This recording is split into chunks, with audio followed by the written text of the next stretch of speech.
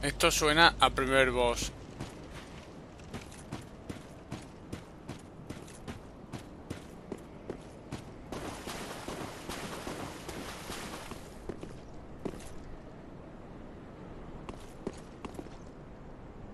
Anda que no, esto es el primer boss. Madre mía, me voy a tener enfrente contra el primer boss ya, aquela.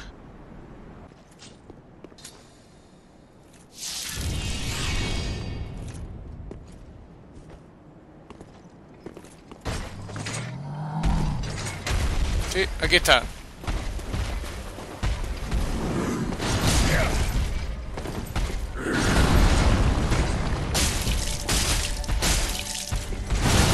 ¡Hola, me ha hundido!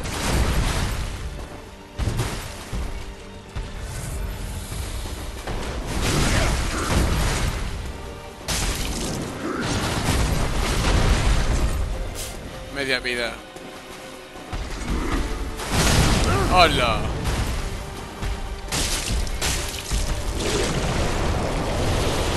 Vale. Ya decía yo... Ya decía yo que era muy normalito. Sí, eh, le quita media vida y cuando le quita media vida se transforma. Es típico de Dark Souls. Qué raro, qué raro, qué raro. Me han matado en el Dark Souls. No lo, no lo podía haber dicho nunca. Muy buenas a todos, gente de YouTube. Sí, sí, sí, hoy estáis viendo un vídeo vídeo distinto. Estáis viendo, vais a ver un, un vídeo distinto por mi parte. Eh, lo que estáis viendo de fondo no es nada más y nada menos que Dark Souls 3, sí. Bien, todos sabéis que el mes pasado tuve un par de semanas o tres en las cuales no estaba subiendo vídeos periódicamente y es porque, digamos todo, he tenido mucho lío, he tenido muchas cosas que hacer, pero también es verdad que he tenido un vicio considerable a este hijo de puta juego que es una maravilla, es una obra de arte y te saca de tus casillas a la vez que estás deseando de jugar y jugar y jugar y jugar todo el rato. Humildemente pongo mi fe en ti. Soy Greirat, del asentamiento de los no muertos y prometo ayudarte. Dale este anillo a Loretta, en la base del gran muro, cumple con tu parte y yo cumpliré con la mía. Anillo de la lágrima de la piedra azul. Y desaparece. Y se ha, se ha podido ir cuando le saliese del pene. A ver, a ver, yo, yo me pregunto, si, si tienes el poder de si tienes el poder de, de, de, transportarte, ¿por qué no llevas el anillo tú? Claro, ¿por qué no llevas tú el anillo?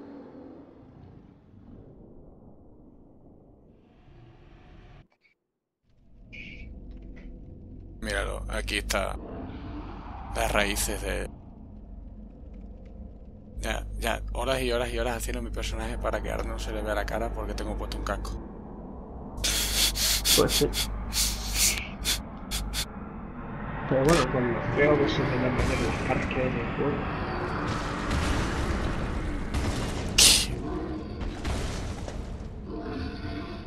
Qué guapo están los putos bichos de, de este juego, tío, en serio, de verdad.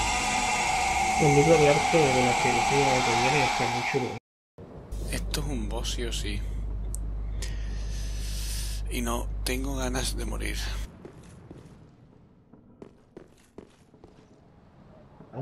Bueno, si me notas muy concentrado, es Que estoy en boss, ¿vale? Vale. Si en caso de que sea el boss, pues suerte. No matará mucho esto. Mira, es un boss, es un boss. Carrera, ¿no?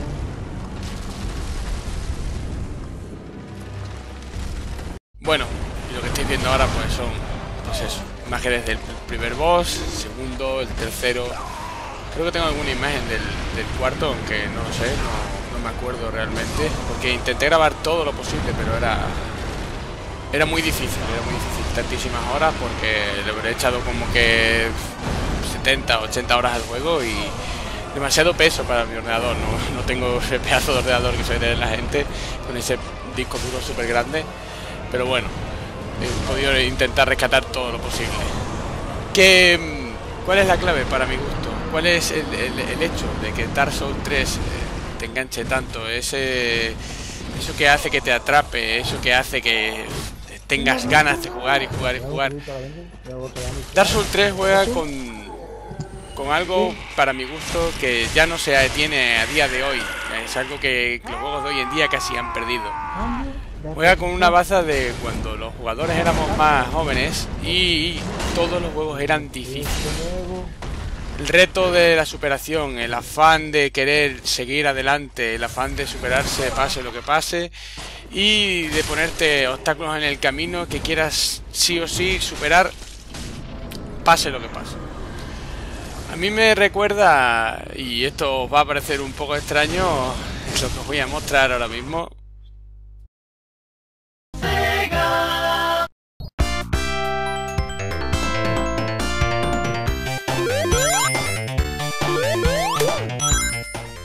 Sí, lo estáis viendo bien.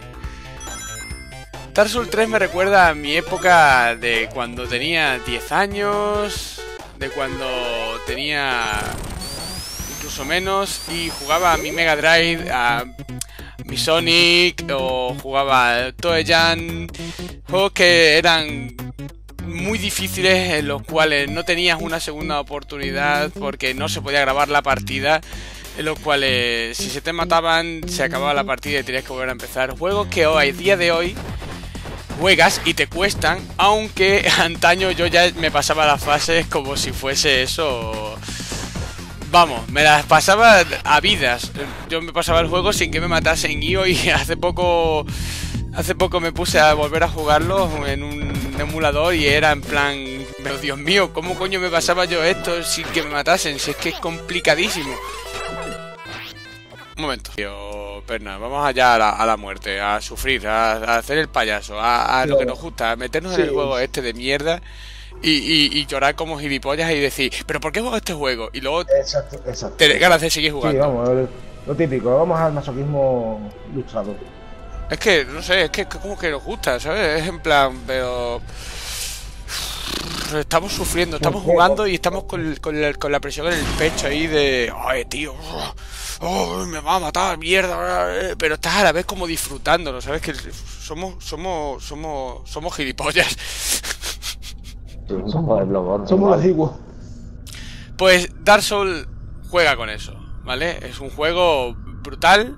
Aquí tenéis, bueno, os voy a poner unas cuantas imágenes de Dark Souls aquí mientras estoy hablando con vosotros y haciendo un pequeño análisis esto no es un gameplay normal y corriente, ¿vale? Aquí os dejo imágenes mías jugando, imágenes de todas las cosas que he hecho. He hecho muchas más cosas, no he podido grabarlo y todo y no he podido enseñarlo todo porque grabar todo el juego de Dark Souls 3 me ocupaba tantísimo en el PC que no, no era capaz de guardarlo todo. Pero bueno, he guardado...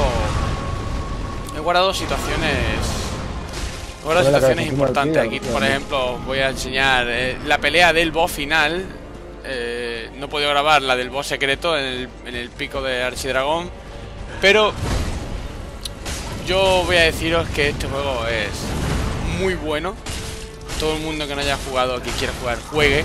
Porque es un pedazo de juego, un juego que juega con, los sentimientos de los jugadores antiguos de, antaño. Por eso casi toda la gente que, tenga mi edad eh, le va a parecer un juegazo y va a parecerle que Dark Souls, como siempre, juega con el afán de superación y con el afán de querer seguir avanzando más y más y más y querer volver a pasártelo para conseguir todos los secretos. Seguramente me haré el trofeo de platino porque me faltan 3, 4 anillos, 4 o 5 hechizos que falta por conseguir, pasármelo una segunda o una tercera vez. Pero ya, una vez que te lo vuelves a pasar, el juego ya no es tan difícil. Ya vas muy chetado, vas ahí con todo por delante y, claro. Bueno, pues nada, aquí os voy a dejar eh, el vídeo.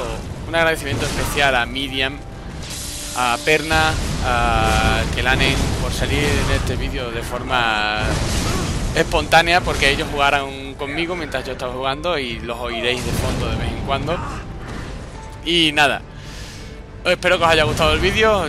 No es, o sea, es el primer review que hago realmente o review, bueno, digamos que es el primer vídeo que hago así de este estilo. Y nada, ya sabéis que si os gusta, dale a like, compartid, comentad y suscribiros si no estáis en el canal. Ya sabéis, traeré más vídeos de más juegos. Adiós.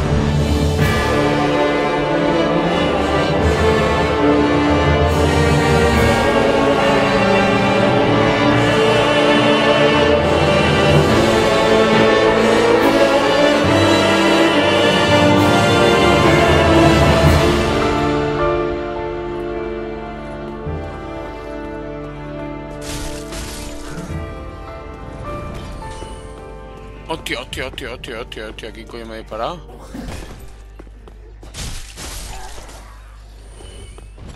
Puto juego de mierda.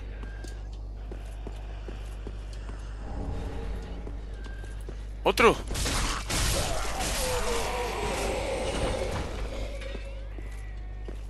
Pero ¿qué pasa? ¿Que no puedo estar tranquilamente andando? Tiene que venir enemigos por todos los putos lados, por las cornisas, por los tejados, por los agujeros, debajo del culo de tu madre. Joder, tío.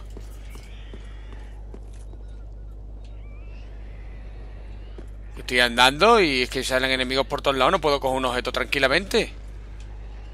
Luego así me encuentro una zona en la que voy andando, no hay nadie, veo un objeto y tengo todo el puto miedo del mundo de coger el objeto por si me viene alguien, ¿sabes? Porque llevo como que 3 minutos, 4 minutos sin ver un enemigo. En plan, si cojo ese objeto, lo mismo viene Lucifer y me encula.